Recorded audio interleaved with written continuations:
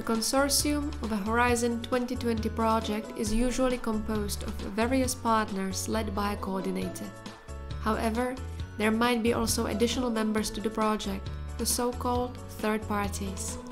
This chapter specifies the types of third parties that may be involved in Horizon 2020 projects and their main characteristics.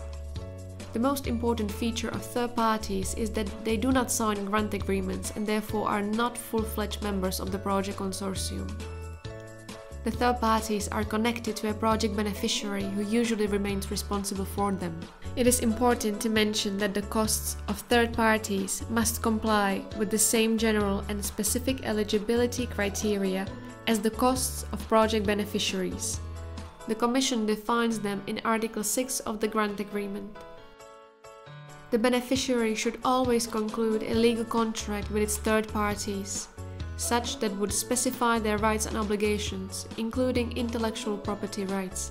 We distinguish between the following types of third parties a subcontractor, a contractor, linked third parties, third parties providing in kind contributions either for free or against payment, and international partners without funding from the EU in case a call explicitly allows it. The project may entail financial support to third parties.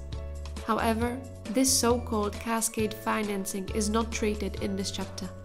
Let's take a detailed look at the different types of third parties. Subcontractors and contractors of goods and services are quite similar to each other. These two are the only project contributors who do not compute their budget solely on the cost basis as they may show profit the profit is usually part of the issued invoice.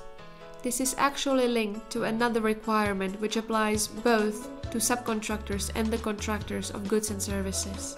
The beneficiaries must base their purchases either on the best value for money or on the lowest price.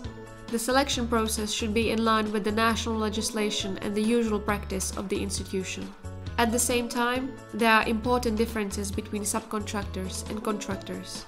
The most important distinction is that subcontractors partake of working on project tasks.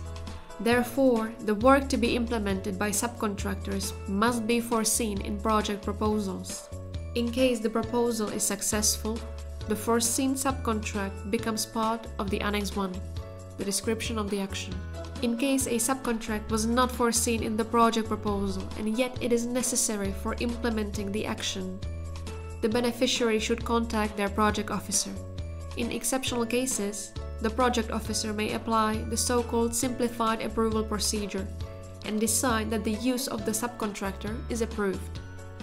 In most cases, however, it will be necessary to adopt the process of amending the grant agreement and to officially add the new subcontract to the project.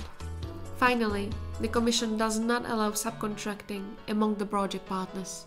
On the other hand, contractors of goods and services do not work on action tasks. The most common examples might be the costs of consumables, of the certificate on the financial statements, costs of renting rooms or catering for project meetings, or costs of protection of intellectual property rights. This list also suggests that contractors do not have their own cost category.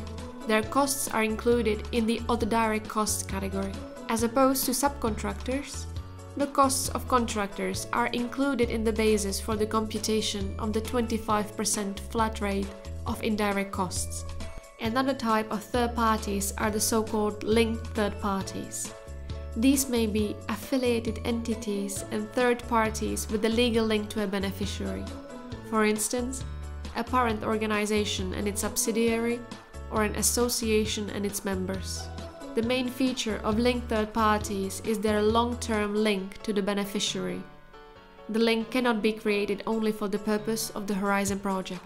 Unlike the subcontractors and contractors, the linked third party computes its budget and reports to the Commission on a cost basis, which must be supported in the third party's accounting. The linked third party fills out its own financial statement and, if applicable, delivers its own certificate on the financial statements. Similarly to subcontracts, the linked third parties work on project tasks and they must be foreseen in the project proposal. Finally, the beneficiaries may also use the so-called in-kind contributions from third parties, either for free or against payment. Most often, it is the case when a third party lends the beneficiary some of its equipment or even seconds its personnel to the beneficiary. If the contribution is against payment, the third party issues an invoice, which cannot include the third party's profits. The in-kind contributions must be also foreseen in project proposals and therefore listed in Annex 1 of the grant agreement. In fact, the third parties providing in-kind contributions do not work on project tasks and do not have their own cost category. The last, and not that common, third party in Horizon 2020 projects may be international partners who perform their action tasks without receiving EU funding.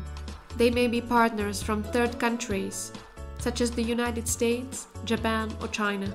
They need to fund their project activities by themselves, which also means that they do not need to report their finances to the Commission. Still, their contribution, including the expected budget, must be foreseen in Annexes 1 and 2 of the grant agreement.